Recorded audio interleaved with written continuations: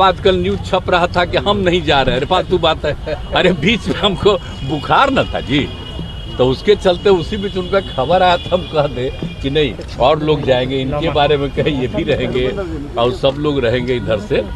अब बाद में जब आगे होगा तो हम नहीं जाएँगे। कहीं सब संभव है, जी। हम तो चाहते ही हैं कि तेज़ी से सब लोग करें काम, और अलग अलग राज्यों का हम आपको बता देते हैं। अब एक ही चीज़ हम आप लोगों को बोल देते हैं। कि अगला मीटिंग होगा तो उसमें हम फिर बता देंगे कि बहुत तेज़ी से आपस में बातचीत करके आगे का तय कर लीजिए। देर मत करिए। अब देर न रहे जी। हम एक साल से कितना दिन से कोशिश कर रहे हैं। तब बाकी बीच में चुनाव होता तो सब पटिया अपने अपने लिए लगे लहराता है वो अलग चीज़ है। हम तो चाहते हैं कि जितने लोग एक साथ हैं, हम मिल करके आगे भी अन्य राज्यों पर जो लड़ना है, उसके लिए हम लोग फिर ज़रूर लोगों को कहेंगे। और एक बात और हम कह देते हैं, बिना मतलब के मेरे बारे में आता है कि हम चाहते हैं, हमको कुछ नहीं चाहिए। हम शुरू से कहते हैं, हम तो चाहते हैं राज्य के हित में है। और जो अपना राज्य मैंने राज्य करे देश के। और समझिए कि जो बदल रहे हैं ये लोग अभी जिनको पावर में है, पूरा का पूरा इतिहास सब कुछ बदल रहे हैं। तो हम तो चाहते हैं सब एकजुट होकर के और जो आज़ादी की लड़ाई लड़ी गई, उसको कोई भूले नहीं नई पीढ़ी के लोगों को याद रखे। तो हम इसलिए चाहते हैं तेज़ी से काम हो। हम इसी में लगे हमको अपना व्यक्तिगत कुछ नहीं। हम इतना जगह सेवा नहीं किए, जी, आप बोलिए ना। हम लोग आंदोलन भी किए, आबाद में किए, सब कुछ किए, हमारे साथी भी सब कुछ किए। तब आगे कुछ नहीं, हम तो चाहते हैं एकजुट होकर के सब लड़े। और बाकी हम किसी पर कुछ इसलिए इन सब चीज़ों पर कोई रिएक्शन नहीं। आ, आज कल हम देखते रहते हैं न्यूज़ छपते रहता है कि भाई ये नहीं जा रहा था तो चार पार्टी का दे दिया क्यों नहीं? धर्म का बड़ा फालतू बात है। अरे हमारा दूसरे कारण से नहीं था ना। तो ये कौन खास बात है?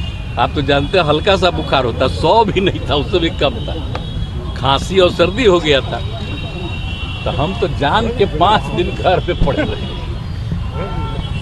बीजेपी सर सर बीजेपी बोल रही है कि इस बार 400 पार। आप चिंता मत करिए। हम राज्य के हित में अपना काम में लगे रहते हैं।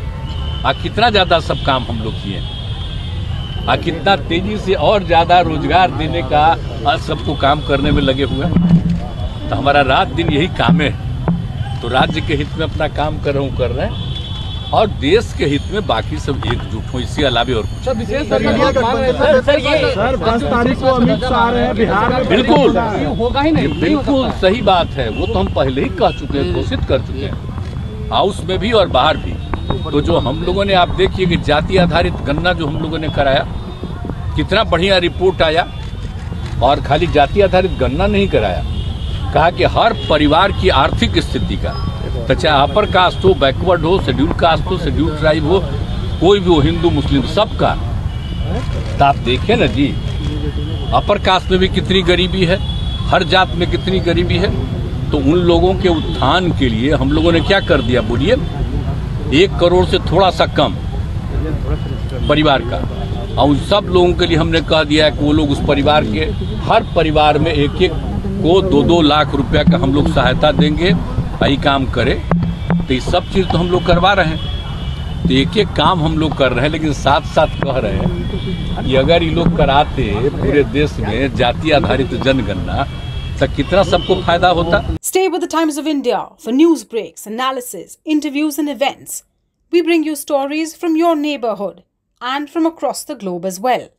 Subscribe to our YouTube channel. Hit the like button and press the bell icon so you don't miss any of our videos.